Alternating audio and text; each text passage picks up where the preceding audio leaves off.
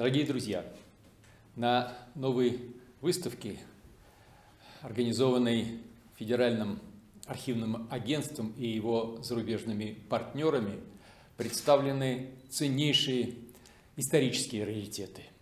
Переписка лидеров трех держав – Сталина, Рузвельта и Черчилля. Подписанные ими важнейшие документы э, в Тегеране, Ялте и Потсдаме и другие свидетельства той эпохи.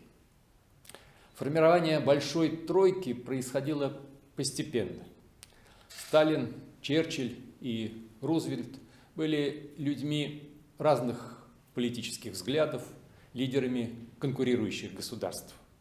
И тем важнее для истории, для нас с вами, с вами а, понимание того факта, что им удалось э, в конечном итоге не только оставить в стороне э, свои прежние разногласия, но и объединить усилия и ресурсы своих стран для победы над общим страшным врагом – фашизмом.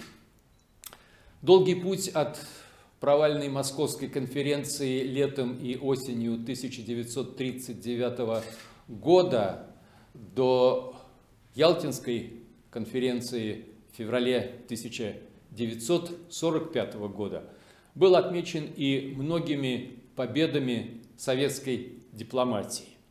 Это и э, первые поставки э, военной техники и продовольствия по Ленд-Лизу, это и встреча Большой Тройки в Тегеране, и, конечно, открытие Второго фронта в Нормандии. Новый миропорядок, формировавшийся в те тревожные годы, безусловно, был не лишен внутренних противоречий.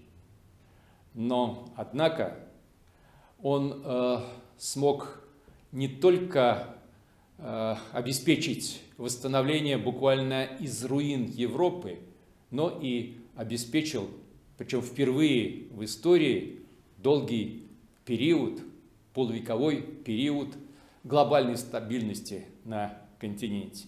И мне представляется, что нам еще предстоит извлечь многие важные уроки из встреч Большой Тройки в Тегеране, в Ялте и в Потсдаме.